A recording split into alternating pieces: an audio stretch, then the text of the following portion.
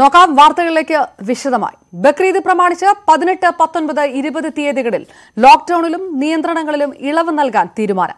വ്യാപാരികളുമായുള്ള ചർച്ചയ്ക്ക് ശേഷമാണ് സർക്കാർ തീരുമാനം പ്രഖ്യാപിച്ചത്. അതേസമയം വാരാന്ത്യ ലോക്ഡൌണിലും കടകൾ തുറക്കുമെന്ന നിലപാടിൽ നിന്ന് വ്യാപാരികൾ പിന്നോക്കം പോയി. വലിയ പെരുന്നാളിന് മുന്നോടിയായി വിശ്വാസികൾക്ക് സാധനങ്ങൾ വാങ്ങാനാണ് കൂടുതൽ ഇളവുകൾ. പതിനെട്ട് പത്തൊൻപത് ഇരുപത് തീയതികളിൽ എ ബി സി വിഭാഗങ്ങളിൽപ്പെടുന്ന മേഖലകളിൽ പലചരക്ക് പഴം പച്ചക്കറി മീൻ ഇറച്ചി ബേക്കറി കടകൾക്ക് പുറമെ തുണിക്കട ചെരുപ്പുകട ഇലക്ട്രോണിക് ഷോപ്പുകൾ ഫാൻസി ഷോപ്പുകൾ സ്വർണക്കട എന്നിവയും തുറക്കാം. രാത്രി എട്ട് മണി വരെയാണ് പ്രവർത്തനാനുമതി. ചർച്ചയിലെ തീരുമാനം എന്തായാലും നാളെ കടകൾ തുറക്കുമെന്ന് പറഞ്ഞ വ്യാപാരികൾ മുഖ്യമന്ത്രിയെ കണ്ടതോടെ നിലപാട് മാറ്റി. സംഭാഷണം സൗഹൃദപരമായിരുന്നു ഒരു അജിറ്റേഷന്റെ പുറത്ത് നിന്നപ്പോഴത്തേക്ക് ഞങ്ങൾ അത് നേരത്തെ പറഞ്ഞു ഞങ്ങൾ തുറക്കുമെന്ന് പറഞ്ഞാണ്. ഇല്ല അത് മുഖ്യമന്ത്രി തുറക്കരുതെന്ന് പറഞ്ഞു. അത് പറഞ്ഞതനുസരിച്ച് ഞങ്ങൾ അതിന് പുറകോട്ട് പോയിട്ടുണ്ട്. സർക്കാർ തീരുമാനം അനുസരിക്കുമെന്ന് സി പി എം നിയന്ത്രണത്തിലുള്ള വ്യാപാരി വ്യവസായി സമിതി മുഖ്യമന്ത്രി അറിയിച്ചു. മറ്റ് സമരമാർഗങ്ങളിലേക്ക് പോകാൻ ഞങ്ങളിപ്പോൾ ഇല്ല. അതുമാത്രമല്ല ഗവൺമെന്റിനെ വെല്ലുവിളിച്ച് കടകൾ തുറന്നു പ്രവർത്തിക്കുമെന്ന ചില സംഘടനകളുടെ അഭിപ്രായത്തോട് മുമ്പും ഞങ്ങൾക്ക് യോജിപ്പില്ല. ഇനിയും അത്തരത്തിലുള്ള ഏതെങ്കിലും ഒരു ഏറ്റുമുട്ടലിന്റെ സമരമാർഗമല്ല ഞങ്ങൾ സ്വീകരിക്കുന്നത്. ബക്രീദ് വരെയുള്ള ഇളവുകളാണ് ഇന്ന് തീരുമാനിച്ചത്. കൂടുതൽ ഇളവുകൾ വേണമോ എന്ന് നാളത്തെ ഉന്നതതല യോഗം തീരുമാനിക്കും. News eighteen Thiruvananthapuram. സ്ത്രീധന നിരോധന ചട്ടങ്ങളിൽ ഭേദഗതി വരുത്തി സർക്കാർ. എല്ലാ ജില്ലകളിലും ഡൌറി പ്രൊഹിബിഷൻ ഓഫീസർമാരെ നിശ്ചയിച്ച് വനിതാ ശിശുക്ഷേമ വകുപ്പ് ഉത്തരവിറക്കി. വനിതാ ശിശുക്ഷേമ വകുപ്പ് ജില്ലാ ഓഫീസർമാരെയാണ് ഡൌറി പ്രൊഹിബിഷൻ ഓഫീസർമാരാക്കി നിയമ ഭേദഗതി വരുത്തിയത്. വനിതാ ശിശുവികസന വകുപ്പ് ഡയറക്ടറെ ചീഫ് ഡൌറി പ്രൊഹിബിഷൻ ഓഫീസറായി നിയമിച്ചു. തിരുവനന്തപുരം നഗരത്തിൽ സജീവമായിരുന്ന ഉത്തരേന്ത്യൻ പെൺവാണിഭ സംഘം പിടിയിലായി. ഒൻപത് സ്ത്രീകളും ഒൻപത് പുരുഷന്മാരും ഉൾപ്പെടെ പതിനെട്ട് പേരെയാണ് കസ്റ്റഡിയിലായത്. പെൺവാണിഭ സംഘത്തിന്റെ നടത്തിപ്പുകാരും അസം സ്വദേശികളുമായ മുസാഹുൽ ഹക്ക് റബുൾ ഹുസൈൻ എന്നിവരും പിടിയിലായി. അസം പോലീസും സിറ്റി ഷാഡോ പോലീസുമായി ചേർന്ന് നടത്തിയ റെയ്ഡിലാണ് സംഘം വലയിലായത്. Medical college Thampanoor police station പരിധികളെ ഹോട്ടലുകളിൽ നിന്നാണ് ഇവരെ കസ്റ്റഡിയിലെടുത്തത്. പിടിയിലായവരിൽ പ്രായപൂർത്തിയാകാത്ത പെൺകുട്ടിയും ഉൾപ്പെട്ടിട്ടുണ്ട്. സംസ്ഥാനത്ത് പതിമൂവായിരത്തി എഴുന്നൂറ്റി അൻപത് പേർക്ക് കൂടി കോവിഡ്. പത്ത് ദശാംശം അഞ്ച് അഞ്ചാണ് ടെസ്റ്റ് പോസിറ്റിവിറ്റി നിരക്ക്. ഒരു ലക്ഷത്തി മുപ്പതിനായിരത്തി മുന്നൂറ്റി തൊണ്ണൂറ് സാമ്പിളുകളാണ് പരിശോധിച്ചത്. നൂറ്റി മുപ്പത് പേർ കോവിഡ് ബാധിച്ച് മരിച്ചതായി സ്ഥിരീകരിച്ചു. ഇതോടെ ആകെ മരണം പതിനയ്യായിരത്തി നൂറ്റി അൻപത്തഞ്ചായി കേരളത്തിലെയും മഹാരാഷ്ട്രയിലെയും കോവിഡ് നിരക്ക് ആശങ്കാജനകമെന്ന് പ്രധാനമന്ത്രി. മൂന്നാം തരംഗം തടയാൻ ജാഗ്രത തുടരണമെന്നും മുഖ്യമന്ത്രിമാരുമായുള്ള യോഗത്തിൽ പ്രധാനമന്ത്രി നിർദ്ദേശം അതേസമയം സംസ്ഥാനത്ത് കോവിഡ് വ്യാപനം പിടിച്ചു നിർത്താൻ നടത്തിയ ശ്രമങ്ങൾ വിജയിച്ചതായി മുഖ്യമന്ത്രി പിണറായി വിജയൻ യോഗത്തിൽ വ്യക്തമാക്കി. കോവിഡ് മൂന്നാം തരംഗത്തെക്കുറിച്ചുള്ള ആശങ്ക ശക്തിപ്പെടുന്നതിനിടെയാണ് വ്യാപനം കൂടുതലുള്ള ആറ് സംസ്ഥാനങ്ങളിലെ മുഖ്യമന്ത്രിമാരുമായി പ്രധാനമന്ത്രി ആശയവിനിമയം നടത്തിയത്.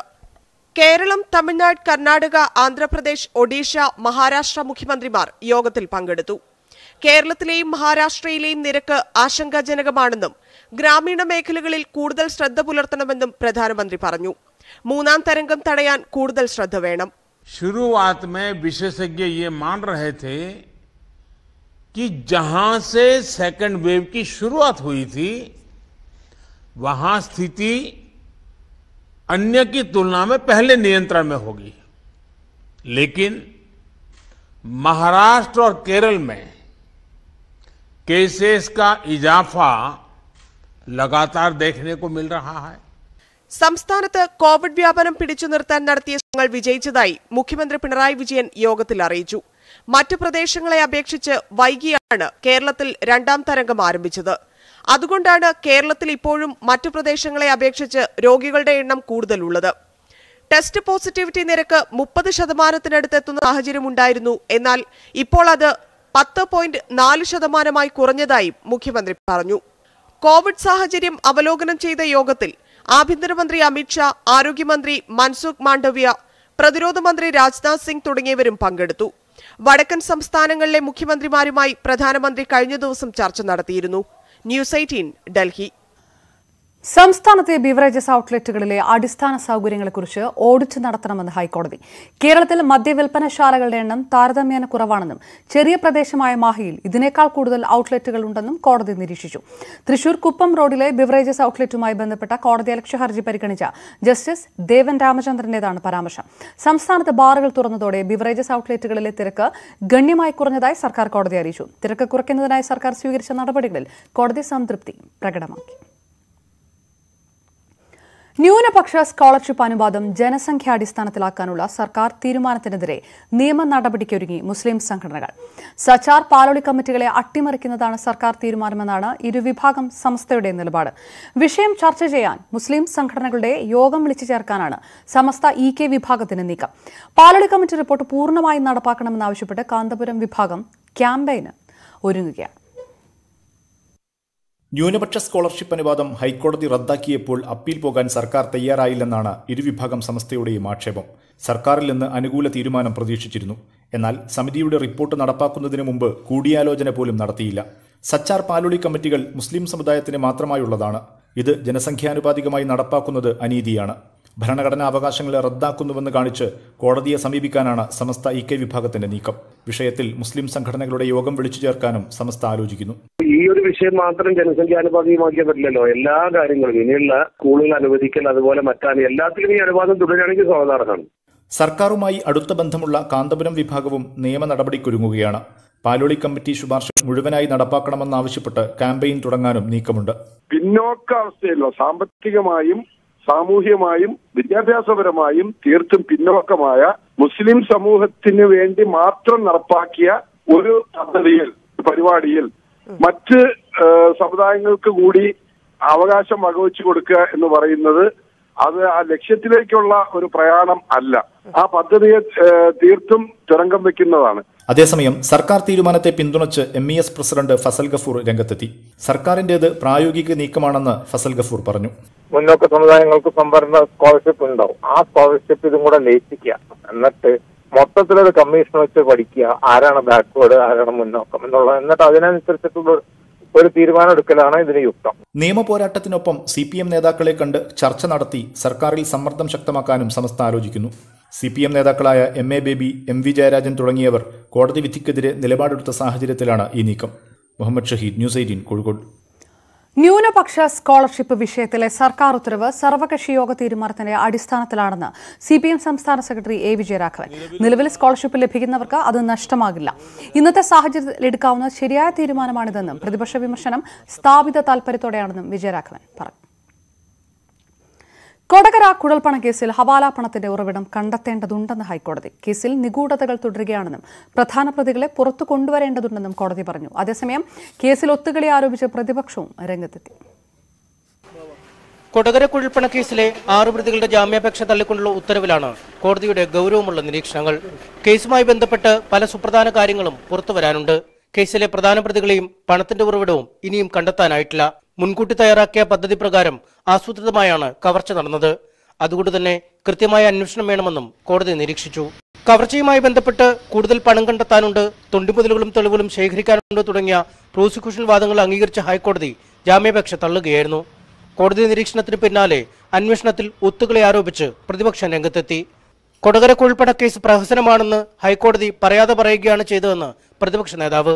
പോലീസ് സർക്കാരിന്റെ അറിവോടുകൂടി ഭരണ നേതൃത്വത്തിന്റെ അറിവോടുകൂടി കൊടകര കുഴൽപ്പണ കേസിലെ യഥാർത്ഥ വിവരങ്ങൾ മറച്ചുവെച്ച് ആ കേസുമായി ബന്ധപ്പെട്ട ഹൈക്കോടതി പറഞ്ഞതുപോലുള്ള നിഗൂഢതകൾ ആ നിഗൂഢതകൾ മുഴുവൻ മറച്ചുവെച്ച് സംസ്ഥാന സർക്കാരിനെതിരായിട്ട് കേന്ദ്ര ഏജൻസികൾ നടത്തുന്ന അന്വേഷണത്തിന് അതിനെ ബാർഗെയിൻ ചെയ്യാൻ വേണ്ടിയിട്ട് മാറ്റി വെച്ചു വിലപേശൽ നടത്തുന്നതിന് വേണ്ടിയിട്ട് മാറ്റി വെച്ചിരിക്കുകയാണ് അറുപത്തിയൊമ്പത് മണ്ഡലങ്ങളിൽ വോട്ട് മറിച്ചതിന്റെ പ്രതിഫലമായി കേസ് അട്ടിമറിച്ചെന്ന് രമേശ് ചെന്നിത്തല അപ്പോൾ തെരഞ്ഞെടുപ്പിന് മുമ്പ് കേരളത്തിൽ സി പി എമ്മും ബി ജെ പിയും തമ്മിലുണ്ടാക്കിയ ധാരണയുടെ ഒരു തുടർച്ചയാണ് ഈ കുഴൽപ്പണ കേസിൽ നിന്ന് ബി ജെ പി നേതാക്കളെ ഒഴിവാക്കാനുള്ള നീക്കങ്ങൾ.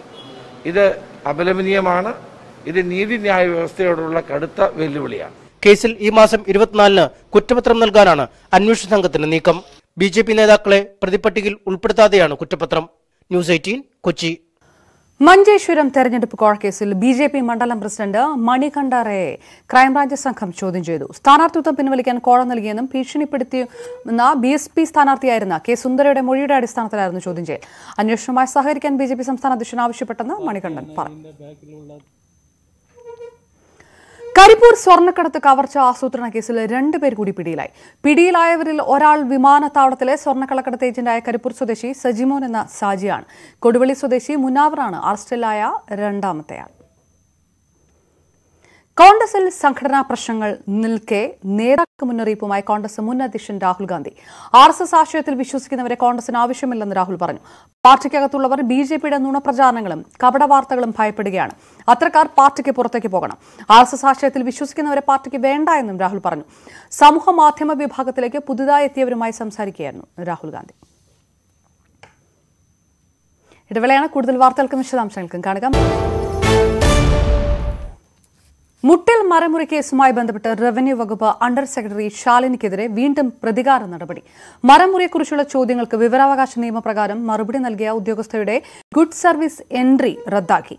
റവന്യൂ സെക്രട്ടറി എ ജയതിലക്കാണ് ഗുഡ് സർവീസ് എൻട്രി റദ്ദാക്കിയത്. അതേസമയം ഉദ്യോഗസ്ഥർക്കെതിരെ ഒരു നടപടിയും എടുത്തിട്ടില്ലെന്ന് റവന്യൂ മന്ത്രി കെ രാജൻ പറഞ്ഞു.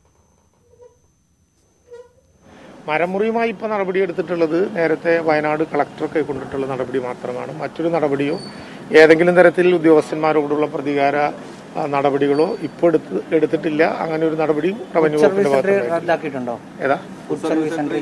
ഞാൻ എന്റെ എന്റെ വ്യക്തിപരമായിട്ടുള്ള അറിവിൽ ഇപ്പോ അങ്ങനെയില്ല.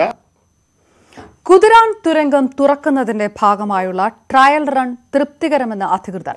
ഒരു പരിശോധന കൂടി നടത്തിയ ശേഷം അഗ്നിരക്ഷാസേന ഫിറ്റ്നസ് സർട്ടിഫിക്കറ്റ് നൽകും. കുതിരാനിലെ ഒരു തുരങ്കം തുറക്കുന്നതിന് അഗ്നിരക്ഷാസേനയുടെ അനുമതി ആവശ്യമാണ്. അതിന് മുന്നോടിയായുള്ള അഗ്നിരക്ഷാസേനയുടെ ട്രയൽ റൺ ആണ് ഇന്ന് നടന്നത്. തുരങ്കത്തിനുള്ളിലോ തുരങ്കമുഖത്തിന് സമീപമോ അഗ്നിബാധ ഉണ്ടായാൽ അണയ്ക്കാൻ നിലവിലെ സംവിധാനങ്ങൾ പര്യാപ്തമാണോ എന്ന് പരിശോധിച്ച് ഉറപ്പാക്കുകയായിരുന്നു ലക്ഷ്യം. രണ്ട് ലക്ഷം ലിറ്റർ സംഭരണ ശേഷിയുള്ള വെള്ള ടാങ്ക് നിർമ്മിച്ചിട്ടുണ്ട്. ഫയർ ഹൈഡ്രൻ സിസ്റ്റം സ്ഥാപിക്കൽ പൂർത്തിയായിട്ടുണ്ട്. ട്രയൽ റൺ തൃപ്തികരമാണെന്ന് ഫയർ ജില്ലാ മേധാവി അരുൺ ഭാസ്കർ പറഞ്ഞു. കുറച്ച് എക്സ്റ്റിംഗ്വിഷറുകൾ വെക്കാണ്ട് കുറച്ച് ഹോസ്ട്രിയിലൂടെ വെക്കാനുണ്ട്. അതും കൂടെ വെച്ചിട്ട് ഒരു ടെസ്റ്റും കൂടെ നമ്മൾ ഒന്ന് രണ്ടോ മൂന്നോ ദിവസം നടത്തിയിട്ട് ഒരു ഫൈനൽ ടെസ്റ്റ് സർട്ടിഫിക്കറ്റ് കൊടുക്കും. രണ്ട് ദിവസത്തിനുള്ളിൽ ഒരു തവണ കൂടി പരിശോധന നടത്തിയ ശേഷം ഫിറ്റ്നസ് സർട്ടിഫിക്കറ്റ് നൽകും. ഓഗസ്റ്റ് ഒന്നിന് തുരങ്കങ്ങളിൽ ഒന്ന് തുറന്നു നൽകാനാണ് തീരുമാനം. ഇതിനായി കൂടുതൽ തൊഴിലാളികളെ ഉപയോഗിച്ച് ഇരുപത്തിനാല് മണിക്കൂർ പണിയെടുപ്പിച്ചാണ് നിർമ്മാണം നടക്കുന്നത്. News eighteen Thrissur. കനത്ത മഴയിൽ സംസ്ഥാനത്ത് വ്യാപക നാശനഷ്ടം. കൊച്ചിയിൽ ഇരുനില വീട് തകർന്നു. കോഴിക്കോട് ജില്ലയിൽ നാൽപ്പത്തഞ്ച് വീടുകൾ ഭാഗികമായി തകർന്നു. ജലനിരപ്പ് ഉയർന്നതോടെ നാല് ഡാമുകളിൽ റെഡ് അലർട്ട് പ്രഖ്യാപിച്ചു. മഴ വരും ദിവസങ്ങളിൽ തുടരുമെന്ന് കാലാവസ്ഥാ കേന്ദ്രം അറിയിച്ചു. ഇന്ന് കോഴിക്കോട് കാസർഗോഡ് ജില്ലകളിൽ ഓറഞ്ച് അലർട്ടും ഒൻപത് ജില്ലകളിൽ യെല്ലോ അലർട്ടുമാണ്.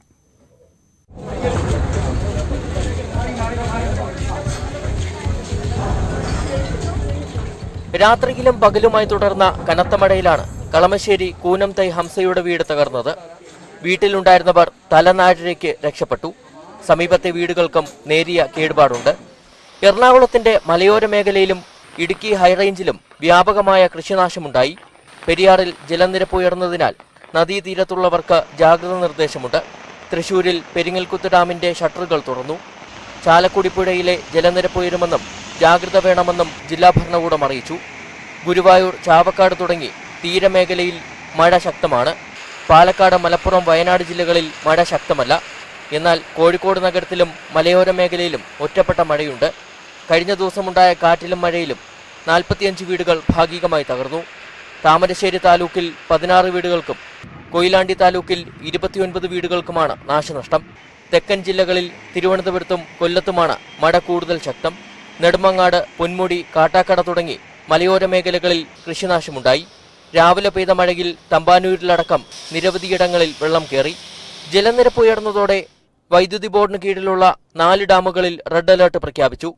കല്ലാർകുട്ടി പെരിങ്ങൽകുത്ത് മൂഴിയാർ ലോവർ പെരിയാർ ഡാമുകളിലാണ് റെഡ് അലർട്ട്. വിവിധ ബ്യൂറോകൾക്കൊപ്പം ന്യൂസ് എയ്റ്റീൻ തിരുവനന്തപുരം. മണ്ണിടിച്ചിലിനെ തുടർന്ന് കൊങ്കൺ പാതയിലെ ട്രെയിൻ ഗതാഗതം താറുമാറായി. എറണാകുളം ജംഗ്ഷൻ നിസാമുദ്ദീൻ മംഗള ലക്ഷദ്വീപ് എക്സ്പ്രസ് പാലക്കാട് ഈറോഡ് വഴി തിരിച്ചുവിട്ടു.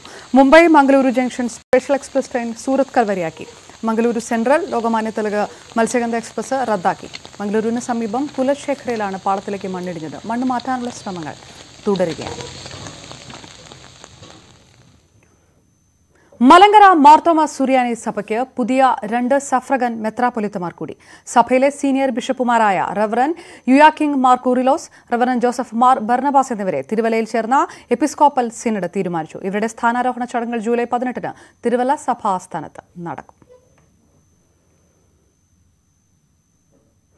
തിരുവനന്തപുരം നെയ്യാർ ഡാം പോലീസിന് നേരെ പെട്രോൾ ബോംബ് ആക്രമണം. ബോംബേറിൽ സി പി ഒ ടിനോ ജോസഫിന് പരിക്കേറ്റു. കഞ്ചാവ് മാഫിയാണ് ആക്രമണത്തിന് പിന്നിലെന്ന് പോലീസ് വ്യക്തമാക്കി. രണ്ടുപേർ police കസ്റ്റഡിയിലായിട്ടുണ്ട്. Pathanapuram M L A K B Ganesh കുമാറിന്റെ ഓഫീസിന് നേരെ അക്രമം. എം എൽ എയുടെ സ്റ്റാഫ് അംഗം ബിജുവിന് തലക്കടിയേറ്റു. അക്രമം നടത്തിയ ഉണ്ണികൃഷ്ണൻ എന്നയാൾ നിരവധി ക്രിമിനൽ കേസുകളിലെ പ്രതിയാണെന്ന് പോലീസ് പറഞ്ഞു രാജ്യത്ത് എല്ലാവരും വാക്സിൻ എടുത്ത് കോവിഡിനെ പ്രതിരോധിക്കാൻ സജ്ജരാണെന്ന് ഉറപ്പാക്കാൻ നെറ്റ്വർക്ക് എയ്റ്റീനും പ്രതിജ്ഞാബദ്ധമാണ്. അതിനായുള്ള ബോധവൽക്കരണമാണ് ഫെഡറൽ ബാങ്കുമായി ചേർന്ന് നടത്തുന്ന Sanjeevani campaign. Health expert Apollo twenty four സെവനും ഈ ദൌത്യത്തിൽ പങ്കാളിയാകുന്നു. കൂടുതൽ വിവരങ്ങൾക്ക് money control dot com slash Sanjeevani എന്ന വെബ്സൈറ്റ് സന്ദർശിക്കുക. കോവിഡ് വാക്സിനേഷന്റെ സന്ദേശം രാജ്യത്തിന് പകർന്ന് നെറ്റ്വർക്ക് എയ്റ്റീനും ഫെഡറൽ ബാങ്കും ചേർന്ന് സംഘടിപ്പിക്കുന്ന സഞ്ജീവനി ഗാഡി പ്രയാണം തുടരുകയാണ്. അഞ്ച് സംസ്ഥാനങ്ങളിലൂടെയാണ് സഞ്ജീവനി ഗാഡിയുടെ പ്രയാണം. ഇതുവരെ നാനൂറ്റി പതിനെട്ട് ഗ്രാമങ്ങളിലൂടെ രണ്ട് ലക്ഷത്തി ഒൻപതിനായിരത്തി ഇരുന്നൂറ്റി അൻപത് പേരിലേക്കാണ് വാക്സിനേഷൻ സന്ദേശവുമായി സഞ്ജീവനി കാടി എത്തിയത്.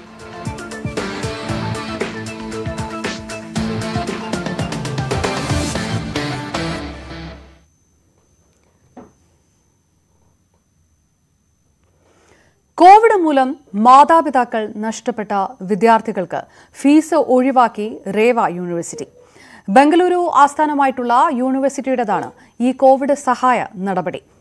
ബിരുദ വിദ്യാർത്ഥികൾക്കാണ് യൂണിവേഴ്സിറ്റി ഫീസ് ഇളവ് പ്രഖ്യാപിച്ചിരിക്കുന്നത്. എല്ലാ വിദ്യാർത്ഥികൾക്കും വാക്സിൻ നൽകുമെന്നും vice chancellor doctor P Shyamaraju വാർത്താ സമ്മേളനത്തിൽ അറിയിച്ചു. സർവകലാശാലയിൽ ഡിജിറ്റൈസേഷൻ പൂർത്തിയാക്കി കഴിഞ്ഞു. ഈ വർഷം യൂണിവേഴ്സിറ്റിയിൽ പുതിയ തൊഴിലധിഷ്ഠിത ബിരുദ കോഴ്സുകൾ ആരംഭിക്കുമെന്നും വൈസ് ചാൻസലർ അറിയിച്ചു. പ്രശസ്ത ഇന്ത്യൻ ഫോട്ടോ ജേർണലിസ്റ്റും പുലിറ്റ്സർ ജേതാവുമായ ഡാനിഷ് സിദ്ദിഖി കൊല്ലപ്പെട്ടു. അഫ്ഗാനിസ്ഥാനിലെ കാണ്ഡഹാറിലെ സംഘർഷം റിപ്പോർട്ട് ചെയ്യുന്നതിനിടെയാണ് കൊല്ലപ്പെട്ടതെന്നാണ് റിപ്പോർട്ടുകൾ. രോഹിംഗ്യൻ അഭയാർത്ഥികളുടെ ദുരിതം പകർത്തിയതിനാണ് രണ്ടായിരത്തി പതിനെട്ടിൽ പുലിറ്റ്സർ പുരസ്കാരം ലഭിച്ചത്. അഫ്ഗാൻ സേനയും താലിബാനും നേരിട്ട് ഏറ്റുമുട്ടൽ നടക്കുന്ന പാകിസ്ഥാൻ അഫ്ഗാൻ അതിർത്തി സ്പിൻ ബൊൽദാക്കിൽ റിപ്പോർട്ടിംഗിനിടെയാണ് ഡാനിഷ് സിദ്ദിഖി കൊല്ലപ്പെട്ടതെന്നാണ് റിപ്പോർട്ട്. സംഘർഷത്തിന്റെ ചിത്രങ്ങൾ അന്താരാഷ്ട്ര വാർത്താ ഏജൻസി റോയിട്ടേഴ്സിനായി പകർത്താനാണ് ഡാനിഷ് അഫ്ഗാനിസ്ഥാനിലെത്തിയത്. ഇന്ത്യയിൽ റോയിട്ടേഴ്സിന്റെ മൾട്ടിമീഡിയ സംഘത്തെ നയിച്ചിരുന്നത് ഡാനിഷ് സിദ്ദിഖിയായിരുന്നു. റോഹിംഗ്യൻ അഭയാർത്ഥികളുടെ ദുരിത ജീവിതം വ്യക്തമാക്കുന്ന ചിത്രങ്ങൾ പകർത്തിയതിനാണ് ഡാനിഷിന് രണ്ടായിരത്തി പതിനെട്ടിൽ പുലിറ്റ്സർ പുരസ്കാരം ലഭിച്ചത്.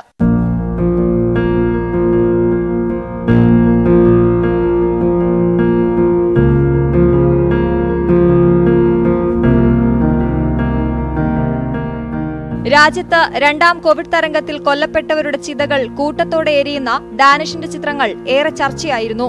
ഡൽഹി കലാപ സമയത്ത് ഡാനിഷ് എടുത്ത ചിത്രങ്ങളും ശ്രദ്ധ നേടി. മുംബൈ സ്വദേശിയായ ഡാനിഷ് രണ്ടായിരത്തി പത്തിലാണ് റോയിറ്റേഴ്സിൽ ചേർന്നത്. News eighteen Delhi. വളരെ പ്രധാന ഒരു വാർത്തയിലേക്ക് കിടക്കുന്നു. രണ്ട് ഡോസ് വാക്സിൻ എടുത്തവർക്ക് ഇളവ്. കോവിഡ് വാക്സിൻ രണ്ട് ഡോസും സ്വീകരിച്ചവർക്ക് ഇനി R T P C R negative certificate വേണ്ട. നിലവിൽ R T P C R negative certificate ആവശ്യമായ എല്ലാ കാര്യങ്ങൾക്കും ഇളവ്.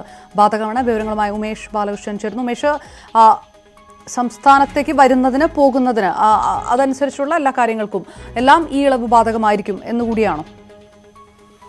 തീർച്ചയായും. നിലവിൽ സംസ്ഥാനത്തേക്ക് വരുന്നതിന് നെഗറ്റീവ് സർട്ടിഫിക്കറ്റ് നാൽപ്പത്തിയെട്ട് മണിക്കൂർ മുമ്പ് എടുത്ത സർട്ടിഫിക്കറ്റ് വേണമായിരുന്നു. അല്ലെങ്കിൽ നാട്ടിലെത്തിയതിനു ശേഷം അതായത് കേരളത്തിൽ കേരളത്തിലെത്തിയതിനു ശേഷം R T P C R negative ആണ് എന്ന് കാണി എന്ന് R T P C R നടത്തുകയും നെഗറ്റീവ് ആണെന്ന് തെളിയിക്കുകയും വേണം. നിലവിൽ ആ നിയന്ത്രണമാണ് എടുത്തു കളഞ്ഞത്.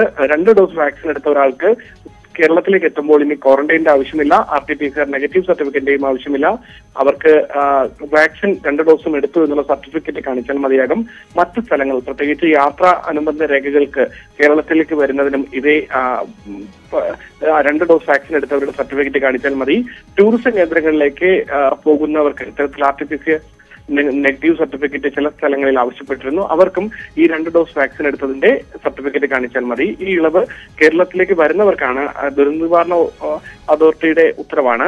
ഒരുപക്ഷെ കേരളത്തിൽ നിന്ന് പുറത്തേക്ക് പോകുമ്പോൾ മറ്റു സംസ്ഥാനങ്ങളിലേക്ക് പോകുമ്പോൾ അവർ പറയുന്ന മാർഗനിർദ്ദേശങ്ങൾ പാലിക്കേണ്ടി വരും. എന്തായാലും കേരള ഇന്ത്യ ഇന്ത്യ ഗവൺമെന്റിന്റെ ഇത്തരമൊരു നിർദ്ദേശം മറ്റ് സംസ്ഥാനങ്ങൾ വരും ദിവസങ്ങളിൽ ഒരുപക്ഷെ നിയമമാക്കും. എന്തായാലും കേരളത്തിൽ വരുന്നവർക്ക് മാത്രമാണ് ഇപ്പോൾ നിലവിൽ ഇത്തരമൊരു ഇളവുള്ളത്. കേരളത്തിൽ നിന്ന് ഇപ്പോൾ തമിഴ്നാട്ടിലേക്കോ കർണാടകയിലേക്കോ പോകുന്നവർക്ക് അവിടുത്തെ നിയമം അവർ പാലിക്കേണ്ടി വരും. Okay right. ഏതായാലും വളരെ പ്രധാനപ്പെട്ട വാർത്ത. രണ്ട് ഡോസ് കോവിഡ് വാക്സിൻ സ്വീകരിച്ചവർക്ക് എല്ലാ കാര്യങ്ങൾക്കും ഇനി ആ വാക്സിന്റെ സർട്ടിഫിക്കറ്റ് ഹാജരാക്കിയാൽ മതി. R T P C R negative certificate വേണ്ട. മറ്റ് സംസ്ഥാനങ്ങളിൽ കേരളത്തിലേക്ക് വരുന്നവർക്കും ഈ ഇളവ് ബാധകമായിരിക്കും.